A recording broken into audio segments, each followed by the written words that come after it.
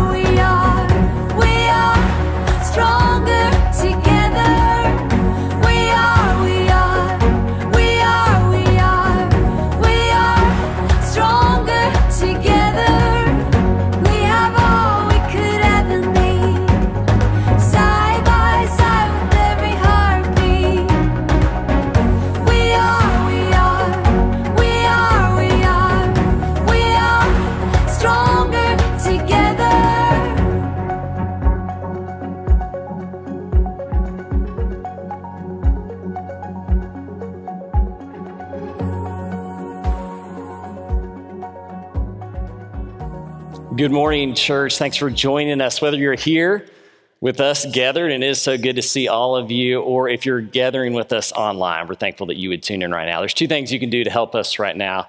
The first is that you can share this. And so I, the folks here in the audience know that I just asked them to log in on Sunday mornings and share this so that more people will hear the good news. So if you're watching with us on Facebook, you can share online. If you're watching on Vimeo or YouTube, you can email this link to a friend. Make a plan to talk with them about it later.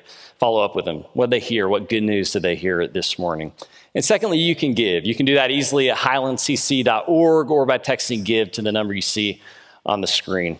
We've been looking forward to this time for a long time, it feels like, right?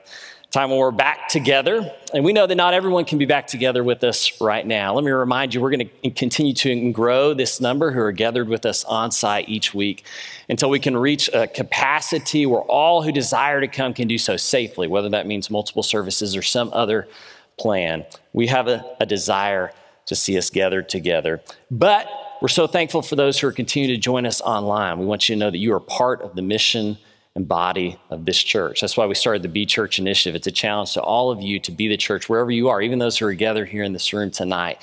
We know that you're only gathered here for an hour so that you can go from here, and in every hour of your week, you'll be the church wherever you are. Let's pray as we begin our time of worship. God, you are Lord and God Most High. We give you praise and honor and glory. We thank you, God, because you're faithful. You've been faithful through this season that we have walked through together as your body. You have been faithful to your body, not only to us, but to your body scattered around the world, God. And I pray that in this season that more people will come to faith in you and in your son, Jesus Christ. God, I pray that they'll see by the faithfulness of your church that you are a God who can be trusted and relied on. God, I pray that you'll receive this worship, that we'll turn our hearts to you. All those, focus, all those distractions trying to pull at us right now, would you let those fade away? Let us focus on you. And we pray this in the name of Jesus. Amen. Brishan. Let's worship together, church family. Shout hallelujah, Woo! shout hallelujah, shout hallelujah hey, unto the Lord. Come on, shout hallelujah, oh, shout hallelujah, shout hallelujah unto the Lord. So sing aloud to God, let the people shout before his throne. Hallelujah, and sing aloud to God. Make a joyful noise unto the Lord. Here we go now, so shout hallelujah. Woo! Shout hallelujah. Shout hallelujah. Unto the Lord. Come on, shout hallelujah. Hey, shout hallelujah. Shout hallelujah unto the Lord from the ends of the earth and from the depths of the sea. Let all creation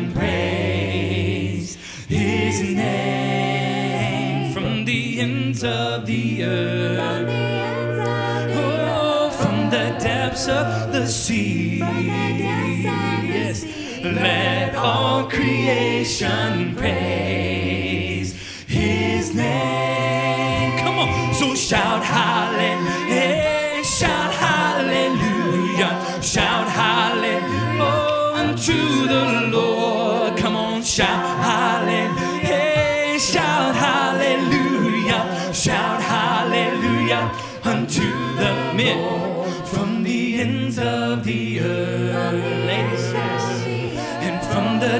depths of the sea.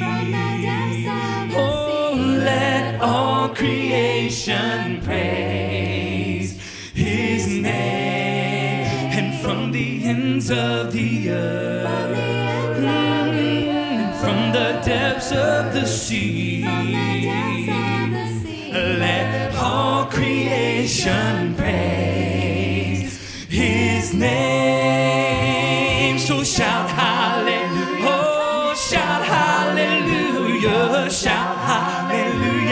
Unto the, come on, lift him up.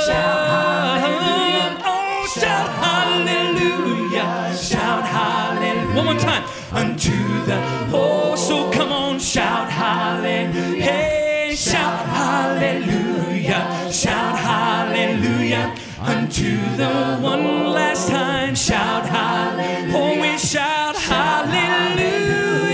Shout hallelujah unto the Lord. So shout hallelujah and shout hallelujah.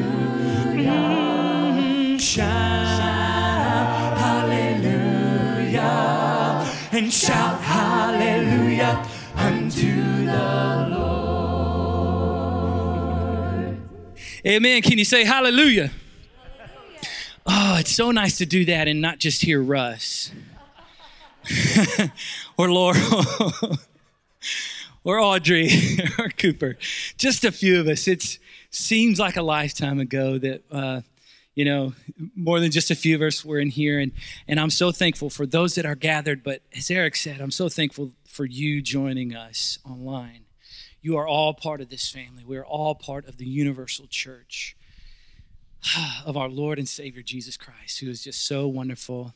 But to be together, there's just some energy. I have this volcano of energy inside of me that I, it's all kind, I don't even know, this can't even explain it. But this song is a song that I think it just kind of encapsulates the past few months for all of us. Life is not always easy. And it wasn't for Job. It was much harder for Job than it has been for a lot of us the past six months, but he still praised his God, the same God that we serve. Amen. So let's sing this song and sing it out. You know it, I know it. Let's say, Blessed be the name of the Lord, the Lord who brought us here to this place at this moment, at this time together. Blessed be his name. Blessed be your name in land that is plentiful, where streams of abundance flow. Blessed be your name. Blessed be your name when I'm found in the desert place. Though I walk through the wilderness, blessed be your name. And every blessing you pour out high, I turn back to praise. Oh, and when the darkness closes in, Lord, here we go. Still I will say, come on, blessed be the name of the Lord. Oh, blessed be, oh, blessed be your name. Blessed be the name of the Lord, and blessed be your glorious name. And blessed be your name when the sun's shining down on me, when the world's all as it should be. Blessed be your name. And blessed be your name on a road marked with suffering There is pain in the offering. Blessed be your name. Here we go, church. And every blessing you pour out high, I turn back to praise. And when the darkness closes in, Lord, still I will say, Oh, blessed be the name of the Lord, and blessed be your name. Oh, blessed be the name of the Lord, and blessed be your glories. Blessed be the name of the Lord, and blessed be your name. Oh, blessed be the name of the Lord, and blessed be your glorious name. Here we go. You give and take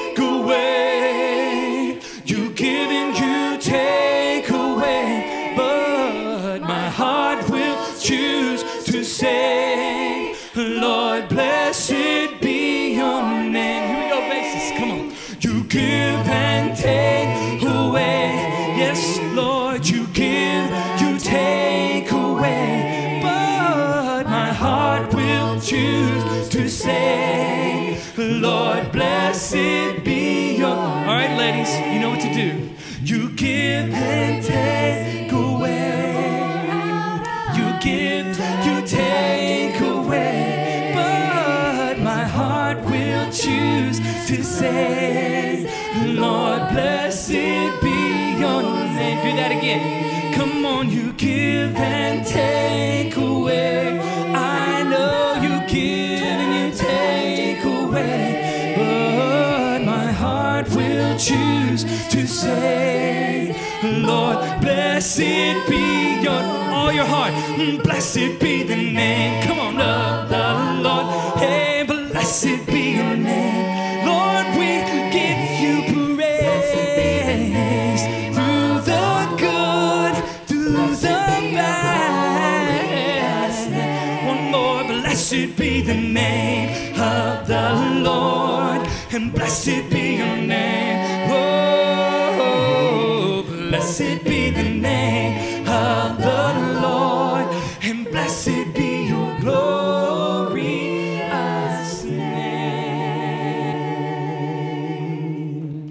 Just say, We love you, God, and we thank you for those words. Mm.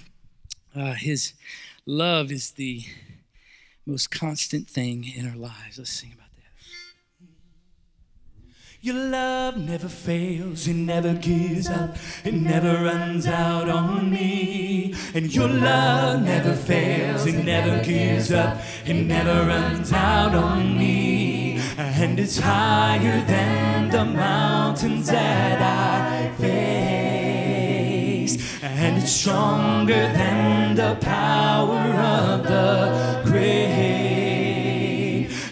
it's constant in the trial and the change. This one thing remains. I know this one thing. Yes, it does. It remains. And your love never fails, it never gives up, it never runs out on me. And your love never fails, it never gives up, it never runs out on me. I know your love never fails, it never gives up, it never runs out on me. Your love and your love, and on and on and on and on it goes. Yes, it overwhelms and satisfies my soul. And I never ever have to be afraid. This one thing, oh, it remains. Your love never fails, it never gives up, it never runs out on me. I know oh, it never gives up, it never runs out on me. This single love never fails. It never gives up. It never runs out on me. Your love and your love. Here we go. In death, in life, I'm confident and covered by the power of your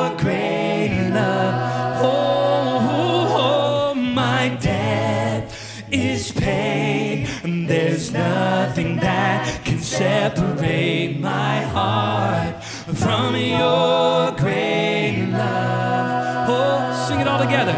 Your love never fails, it never gives up, it never runs out on me. Your love never fails, it never gives up, it never runs out on your love never fails, it never gives up, it never runs out on. Sing it again, your love never fails, it never gives up, it never runs out on me. Two more, your love, it never fails.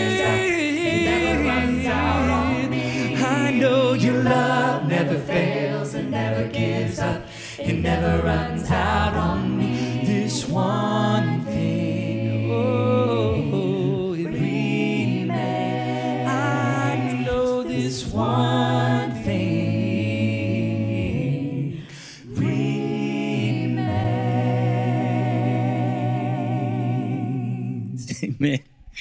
I love that message. All right, I'm going to ask you to do something that we didn't talk about, and but it's okay. We're going to stand up for just a second. Let's stand up.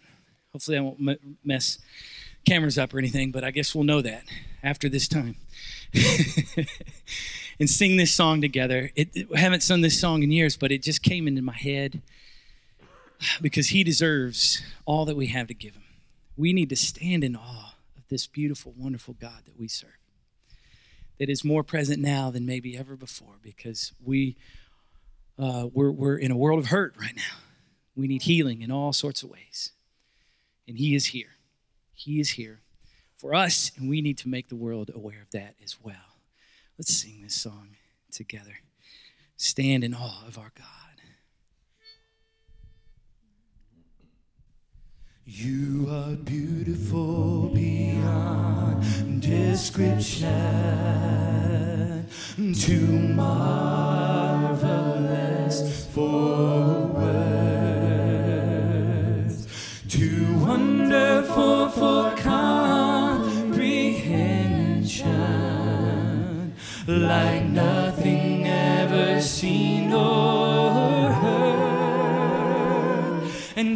can grasp your infinite wisdom? Oh, yes. And who can fathom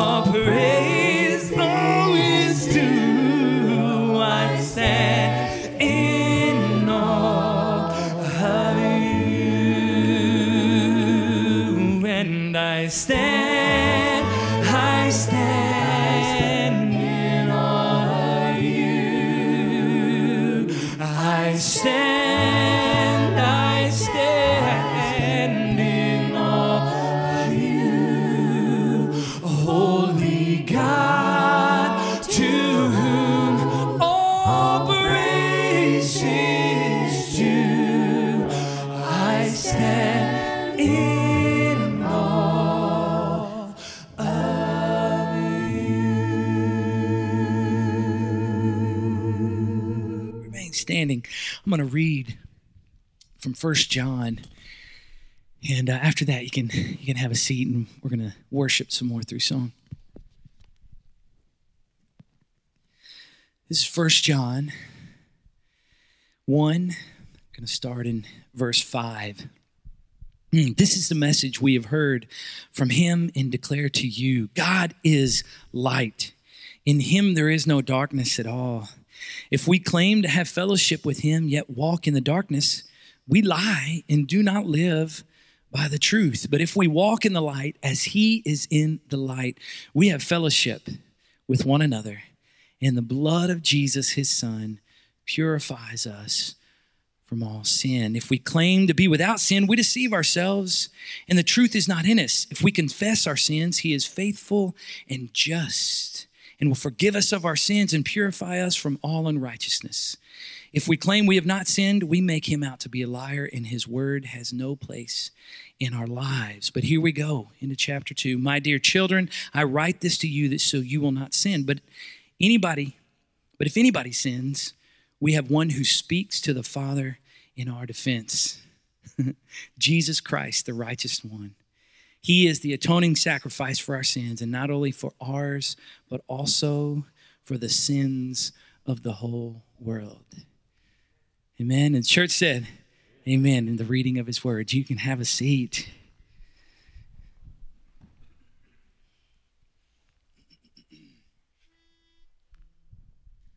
Light of the world, you step down into darkness. Open my eyes, let me see.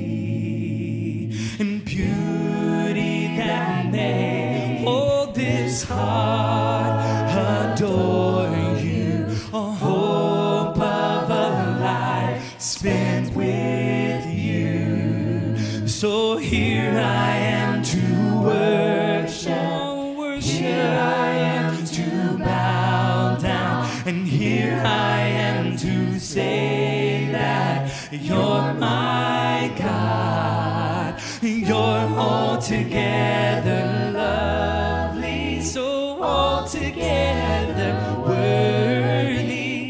altogether the wonderful to me. And King of all days, also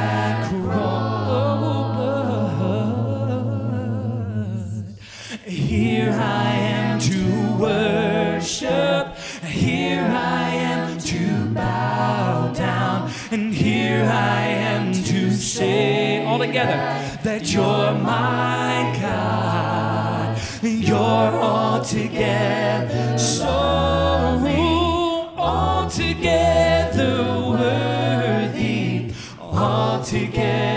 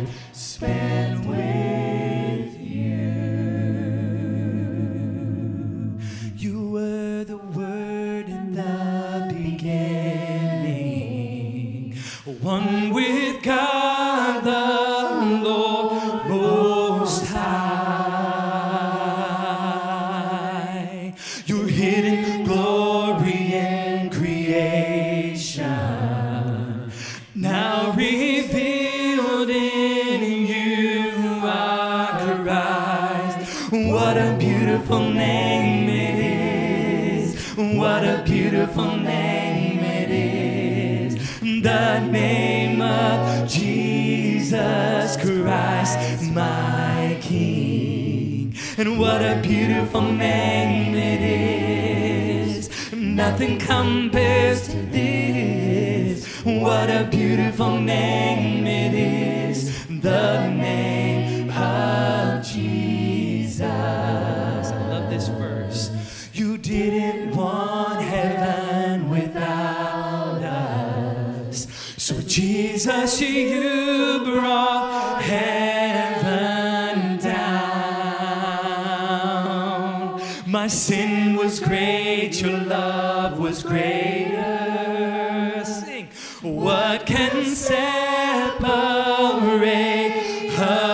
now? What a wonderful name it is. What a wonderful name it is. The name of Jesus Christ, my King. And what a wonderful name it is. And nothing compares to this. What a wonderful name it is. The name of Jesus.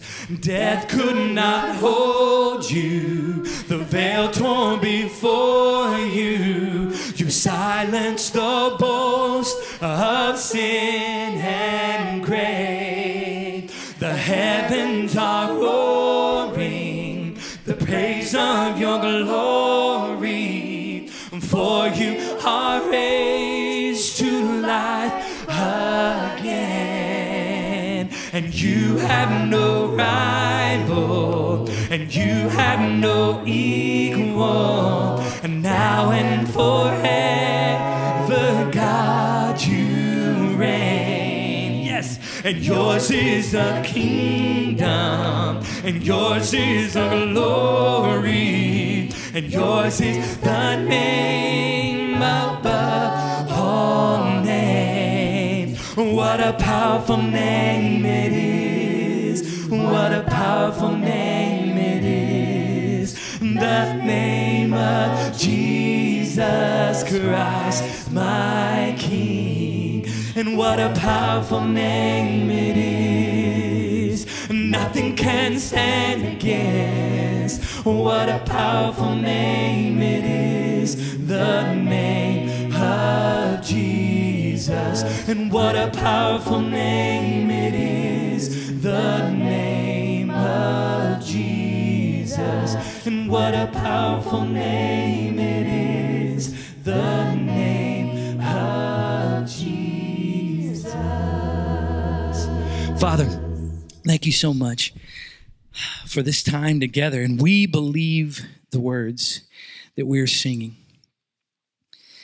Uh, we believe in the power of the name of Jesus Christ and how he was before time and created this place and came to earth, God in the flesh, died for his people, and, and now he's present. He rose from the grave and he's present with us here now. And his power is as strong today as it has ever been. As he works in and through his people and through the love that he has showered upon us. God, we thank you for this good news. We thank you for the gospel that has changed our lives. And I will never be the same, and I will never look back. Only at how you've blessed me right here, God, and for the day that I get to be with you. But until then, I'm going to worship you every single moment that I can.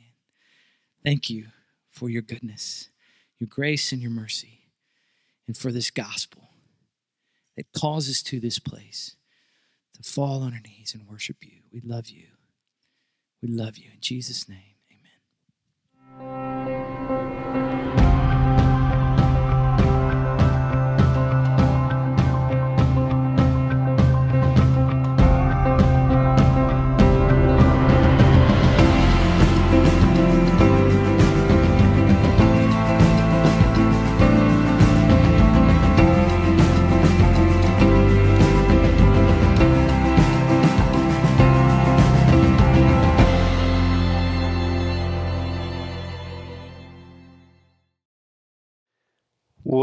Good morning again, church.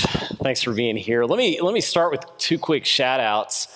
The first is to our uh, youth group. Some of our uh, teens came up here this weekend, led by Hannah, one of our youth ministers, and they decorated the parking lot. Did y'all see that when y'all were walking in and said, Welcome back? Yeah, th- that's awesome. You know, most of those teenagers happen to not be here tonight. And so that's a great example of Be Church. You know, people who aren't here on site loving those who are. And it's vice versa, right? So reach out to somebody who's joining us online if you're here gathered with us and reach out to them and bless them. Second shout out, and I've been waiting until we came back together to do this, and he's going to hate it. But, you know, back in March, overnight, we switched to an online church, all right? And that's because of two people. Okay, one of those is Kevin Woods. He runs all of our communications, Facebook, all the graphics you see. And the other is Russ Terman. And let's just give it up for them.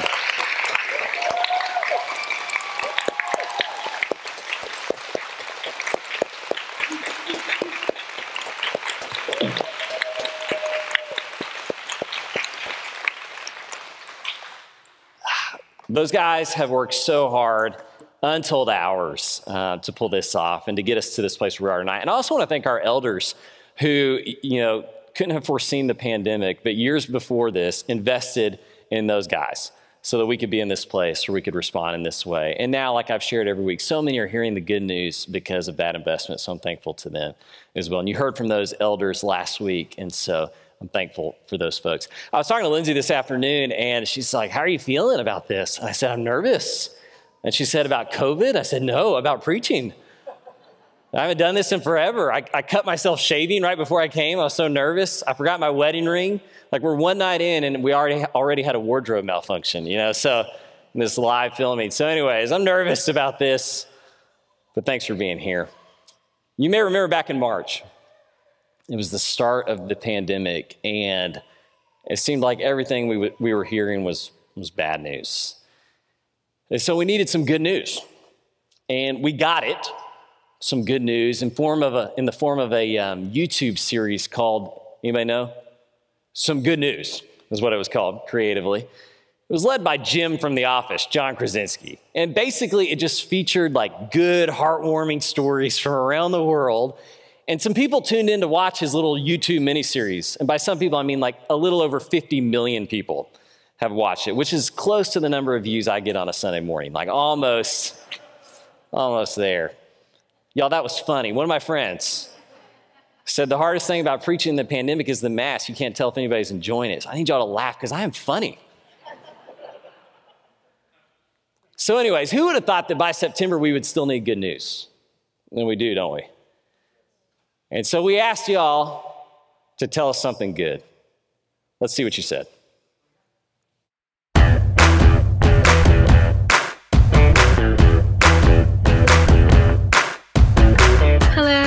My name is Elaine Frost. My good news is I just got married, I moved, and I started my first job teaching kindergarten, and I love it. We have the NBA Rookie of the Year right here in Memphis, Tennessee. We got to spend this week at the beach. Isn't that good news? We're, We're having, having a baby. Some good news for our family is we got, we got to go back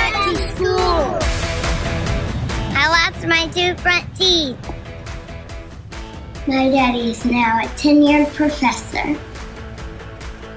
Hi, we're the Maharos, and we'd like to share the good news that on July 31st, we welcomed Ava Elise Maharo into our family. Thank you for all your wonderful prayers and your wonderful gifts. It really meant a lot to us. Thank you. Hey, Dashers here. Um, we were asked if uh, we would share our good news from the week, so we had some. We had a great week. After uh, almost three years of foster care, um, Allie being in foster care, um, the adoption process is over. So, Cohen, what happened? Um, we got to adopt Allison. it's great news. Love you guys. Say bye. Bye. My mom lives at Kirby Pines, and in January, we had her 90th birthday. Since that time, she's been in and out of the hospital, but now she's just doing great. And she has some good news, Mom. The good news is I'm getting married to Bob Shears October the 1st. It's good news here at Kirby. The good, good news.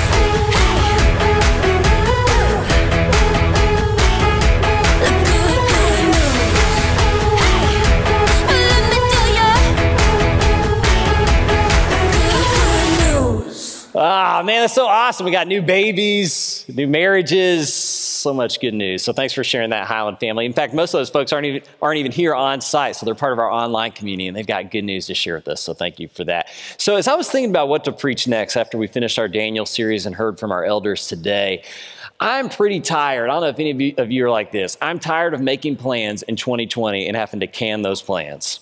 You know? So I decided I'm not going to make plans anymore, even when it comes to preaching. Here's what we're going to do we're going to just dive into the book of Mark, and I'm going to show you why in just a second. But we're just going to begin going verse by verse through the book of Mark, and we're just going to going to stay in that as long as we need to. We'll take breaks for other things as they come up, as we need to talk about special events, maybe outreach contribution, Christmas time. We're going to take some special breaks as stuff comes up on our world, but we're going to dive into the book of Mark. And this is why. This is why the book of Mark stuck out to me right now. This is how Mark starts. He says this This is the beginning of the good news about Jesus Christ, God's Son. Well, what do we need right now? Good news. And I also don't want to overlook the fact that, like I've said several times, you know, thousands of people are joining us each week who may have not heard the good news of Jesus Christ before. And I don't want to look back on 2020, on this pandemic, and say, I wish I would have preached Jesus more. Or like, this is what the world needs. And so we're going to dive in to the book of Mark, starting here in verse 1. So let's jump in and let's see if we can get kind of a picture of what the good news is according to Mark. This is Mark 1, starting in verse 1. The beginning of the good news about Jesus Christ, God's Son, happened just as it was written about in the prophecy of Isaiah. Look, I'm sending my messenger before you. He will prepare your way. A boy shouting in the wilderness, prepare the way for the Lord. Make his paths straight. John the Baptist was in the wilderness calling for people to be baptized to show that they were changing their hearts and lives and wanted God to forgive their sins. Everyone in Judea and all the people of Jerusalem went out to the Jordan River were being baptized by John as they confessed their sins. And John wore clothes made of camel's hair with a leather belt around his waist, and he ate locusts and wild honey, and he announced, One stronger than I is coming after me. I'm not even worthy to bend over and loosen the straps of his sandals. I baptize you with water, but he will baptize you with the Holy Spirit. All right, let's do an exercise here. Let's, if, if you've got your Bible in front of you, or if you're looking on the screen, you can follow along with me. I want to highlight some words here, and I want us to see if we can kind of get a picture of what the good news is about Jesus Christ according to John. We're going to make one of those word pictures. You've seen these before online. Okay, we're going to highlight these keywords. And the first thing that Mark says about the good news is that this is the beginning of the good news of Jesus Christ. Okay, Christ is not his last name. You know this. Those of us tuning in online, it's not his last name. It means anointed one. And specifically, it means he's the anointed to be king. So we could replace Christ there in the, in the center with king, and we'd be saying the same thing. There's something about the fact that Jesus is king that is central to the gospel. That's going to anchor it. The gospel is about Jesus, and it's about the fact that he is king. All right, let's move on there. And then it says God's son or son of God. So apparently, there is something about the fact that Jesus is the Son of God, that Jesus is divine, that is central to the good news or gospel. In fact, that's the same word, gospel, good news. I'm going to use them interchangeably. It's the same word. There's something about Jesus being God's Son that is central to that. But let's keep going on. And then he adds this he quotes scripture. He says, This all happened according to what was written. So apparently, we can't understand the good news of Jesus apart from this long story of Scripture that leads us to this point when Jesus arrives and Mark begins to describe his story. So, Scripture is a part of what the gospel is. But he goes on, all right? You also have this word sin. You see that word? It shows up a couple times in these verses. And then close by to sin, you have this other word, forgive or forgiveness. And so apparently, there's something about my sin and God's forgiveness that is central to the gospel or the good news of Jesus Christ. Let's keep going. Then the passage ends with that language of the Holy Spirit. You see that there in the last verse of this passage? Okay, the Holy Spirit is this long awaited expectation of the people of God since almost before time began. Okay. And the expectation is that God would come and dwell among us by his Spirit. And so that is part of the gospel. So I want to pick up on that. And then I want to underscore two other terms, and these are the two we're going to focus on today. And they are two that I skipped. They show up earlier in the passage, they show up multiple times, both of them. And they are wilderness, you see that? And way. Wilderness and way. Okay. Um, what's Mark doing right here in these first few verses? I had a preaching professor, and he used to say, and you've probably heard this before, that this is how you preach. You tell people what you're going to tell them, and then you tell them, and then you tell people what you told them. Have you ever heard that? All right, Mark's not actually a preacher, though. That's not what's happening here. Mark's an artist, he's a storyteller. How many of you watched uh, Bob Ross paintings. Do you, do you remember Bob Ross on the PBS show who would do those paintings? He would draw his happy trees. You remember those happy trees and the mountain scenes? You remember that? I used to watch Bob Ross while doing calculus homework. Somehow that like put me in the mood for calculus, his soothing voice. Well, you may remember Bob Ross, he'd always start his pictures and he'd trace the whole thing. You'd kind of see these mountains and these trees take shape. And then he'd go back and he'd add these details. He'd add shadows on the trees and he'd add snow falling. And he had this little cabin with smoke coming out of the chimney. Okay, so what we have here is Mark, the artist, who's just doing this outline.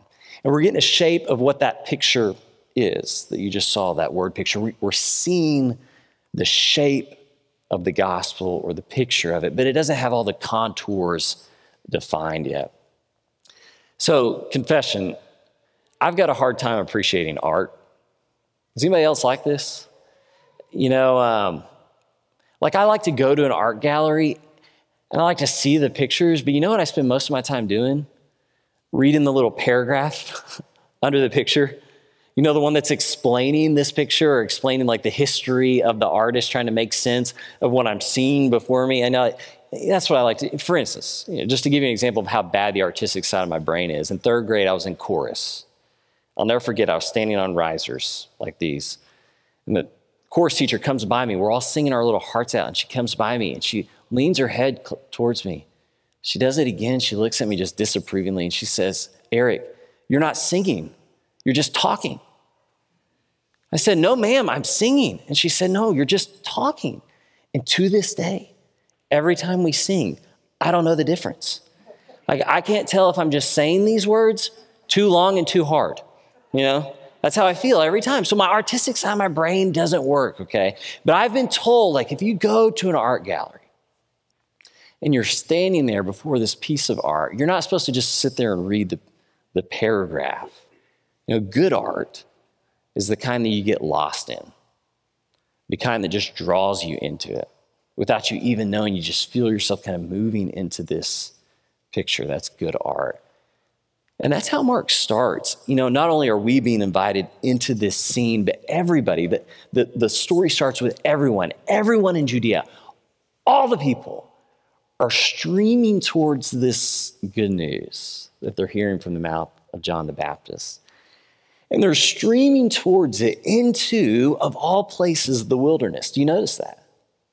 Multiple times we're told that they are in the wilderness and that the beginning of this good news takes place in the context of the wilderness, going back to Isaiah's prophecy. Think about that for a second. They want to hear this good news so bad that they stream to hear it into the wilderness. The wilderness is a major character in Scripture, shows up all the time.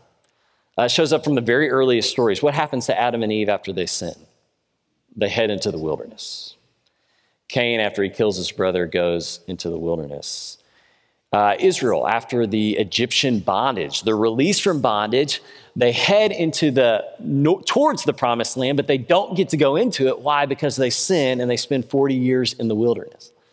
They sin again later. They're sent into the Babylonian wilderness. Jesus, in the next few verses, goes into the wilderness, and who does he find there? He finds Satan. You know, wilderness as a, as a character in Scripture is this place where we encounter our sin. It's this thing that confronts us with suffering, with the stuff we don't like to deal with. That's where the story of the good news starts, which almost makes it feel like the good news starts with bad news, or at least a bad setting. But it also feels like a, like a really true place to start the story. You know, think about this for a second. Imagine if the Gospel of Mark started in a magical castle with fairies and clouds, and nothing was ever wrong. No one ever did anything. No one ever got thirsty. No one ever got hungry. No one was ever sick. No one ever did anything wrong, right? If you heard good news or what somebody claimed to be good news that started in a setting like that, what would you say? Oh, that's not real, right? That's not good. That's not true. That's fiction, is what that is. That's fantasy. Because life is not like that, is it? Just this week, I'm thinking about people I've talked to this week. This week, I've talked to somebody whose grandson was in a terrible accident. I've talked to somebody who's separated from their family. I've talked to somebody who survived abuse and wrestles with it every day. Um, I've talked to somebody who's struggling with cancer this week. Uh, we have in this church family, we've got kids who are doing virtual school. I've talked to some of those families talking about how difficult it is. We have teachers in this church body who are teaching virtually, talking about how difficult it is. We have people who've lost jobs in this family. I've been like overwhelmed by the amount of wilderness just in our church family this week and this week.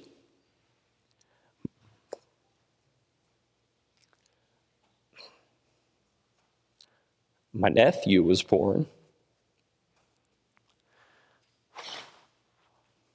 He's not doing well. He's struggling. We're thankful for the great team that's taking care of him in Texas. My sister's able to see him and be with him. She was able to hold him today. Praise God for that. He's getting a little bit better. But man, his life is starting hard. Life is hard, isn't it? So when we look at this picture of the gospel, its setting in the wilderness makes us realize this thing right here is true. You know, it's the difference between being in an art gallery and saying, wow, that picture is cute, and saying, whoa, this is real. Like this artist, it's like they know me. It's like they know my life. That's how we know this news is true. It starts in the truth of our lives. K.A. Ellis, she said this about the good news. She said, The gospel of Jesus Christ, the good news of Jesus Christ, lives best on the ground among regular folk, living the grinding vicissitudes of daily life. Did I have to look up the word vicissitudes? Yes. She means the ups and downs, the highs and lows of life, the wilderness of our lives. And I think, if nothing else, what we have learned in this pandemic is that life is like that, right? It's up and down, it's high and low, it's hot and it's cold, it's hard, it's a wilderness. But the news, which begins in that true place, doesn't stay there. And that's when this news about Jesus like turns from being just news, just true, to being good. Because in addition to that word wilderness, we have this other word way. Look again here, starting in verse 2. Look, I'm sending my messenger before you. He will prepare your way. A voice shouting in the wilderness, prepare the way for the Lord. Make his paths, his ways straight. My dad used to take me to this old hunting camp when I was a kid. It was like bunk style hunting camp. There was always a bunch of old guys there, and they did a lot less hunting and more just talking. And every morning they'd over breakfast, they'd tell these stories. And then every evening, as we were getting ready for bed, they'd tell these stories and they'd keep me up late at night hearing these stories. And one of them was named Bubba, and Bubba told the best stories. And he told this story, I'll never forget. He told this story about being in the mountains of Colorado hunting elk. And he spends his day just up and down in the mountains looking for elk. He doesn't realize it because he's below the crest or the ridge of the mountain, but the sun is set and it's getting dark all around him before he realizes it. And all of a sudden, it's dark all around him. It's snowing, but he can't find his footprints. He loses them in the snow, and he says he wanders around for hours trying to find his truck. He can't find it. He's shivering, and he's cold, and he finds this tree and he huddles up under the tree and he just shivers the night away. And I'll never forget, he said, Eric, you know what? I said, What? He said, The next morning the sun came up and there was a gravel road not 20 yards from me. He said, I took that gravel road down to the truck and I drove home. A path appeared, he said. Have you ever considered that the opposite of lost is not actually found? You know, the opposite of lost is a path, a way, a direction. I mean, think about that. With an object, like if I lose my keys, I then find my keys. But when you and I are lost, we don't suddenly imagine that we are found. What do we do? If we find a direction or path or a way, we follow it and we don't feel so lost anymore. So Mark starts his good news about Jesus Christ by saying, There is a way. That what the Lord has is a way.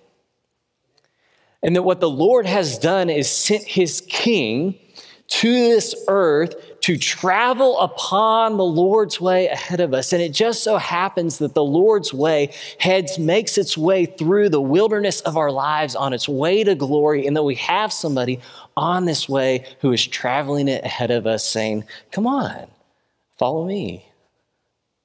That's what Jesus says. Follow me. He says, I am the way. You remember that? You know what the Christians were called first before they were called anything else? The way. Eugene Peterson says, the other ways are no ways. I love that. One of the earliest Christian symbols is a fish. You know the story behind the Christian fish? You've probably seen these, you've probably doodled them on paper, you probably maybe have one tattooed or something like that, okay? You know the story behind the Christian fish? It's one of the earliest Christian symbols, not because we like fish. Um, we certainly have some fishermen who make up a big part of the story of Jesus, but that's not actually why fish plays a big role in the early church. It's an acrostic. So the Greek word for fish is ichthus. You don't have to remember that. There's not going to be a quiz after it. But each one of those letters, ichthus, makes this perfect gospel acrostic. It goes like this Jesus Christ, God's Son, Savior. Jesus Christ, God's Son, Savior. Ichthus. I don't know which Christian member of the way was the first to figure that out, but someone did. And then these started showing up everywhere.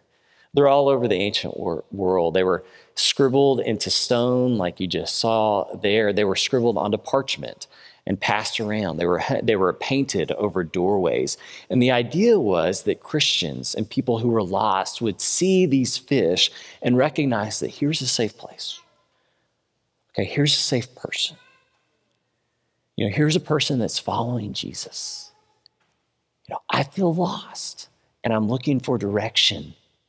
Here's a way to go. This person's on the Jesus way. That's what the fish means. And that's the gospel.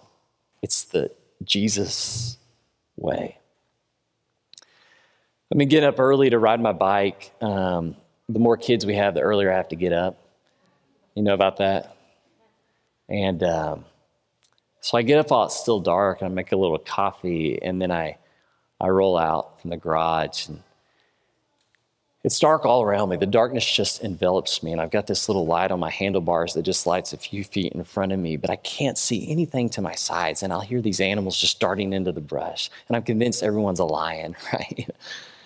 and uh, everything spooks me, everything I hear. And um, I just pedal along in the darkness and I can't see where I'm going beyond just a couple feet. I mean, several times deer have walked out in front of me. I had to slam on the brakes because I can't see him. It's this kind of frightening thing. I'm on edge the whole time I'm out there while it's still dark. And yet, I've come to prefer that time to riding to any other time. Because what I've found is that after an hour of being in the dark, I crave the sun. You know what I'm talking about? Like when I have felt lost or in darkness for a long time, it's that that makes me crave the sun. And it is the sweetest thing to see the sun begin to come up over Shelby Farms. And it's usually pink or purple, and that sun arcs across the sky. And I love it because suddenly everything that was scaring me in the darkness, the same animals are still there, but now instead of scaring me, it's just deer grazing in the meadow beside me. You know, birds, instead of just wrestling in the trees, they're singing. And I love as that sun comes up, I turn off my little light, my laughable little light compared to that sun, and I just pedal into the sun's rays. I went looking for language to describe what I was feeling every morning as I saw that sun came up. And I came across this. This is from Zechariah. And Zechariah says this when he learns that Jesus the Christ is coming.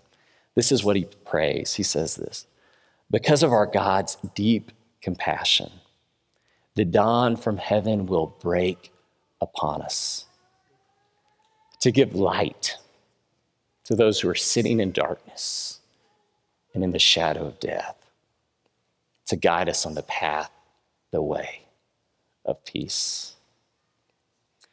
So I printed that off and I taped it to my handlebars. And I see it every morning as the sun comes up. I think there are people watching right now who feel lost. I think there are people in this room to whom life feels like a wilderness this week has been hard. And the good news of Jesus is that there is a way, and that He is traveling that way ahead of us, and that He's calling to you and me, and He's saying, Follow me. Follow me. And that is good news. We're going to take communion. If you came in here, if you're here in this space with us, you picked it up on your way in, let me encourage you to get that out. If you're watching from home, let me encourage you to take, take communion. you might gather up with your family or by yourself with the Bible. And I want you to reflect on that Mark says that this is the beginning of the good news of Jesus and that Jesus is on his way. And what we know about Mark is that this way is leading to one place it's leading to the cross, where he goes for you and for me, where he dies so that I don't have to, where my sins are forgiven, where they are washed in his blood. I pray that you would remember that right now. If you don't know Jesus and you're hearing that call to follow him, I encourage you to answer. You can comment below. We'll follow up with you. We want to tell you about Jesus and walk with you on his way. Let's pray, church. God, I'm overcome.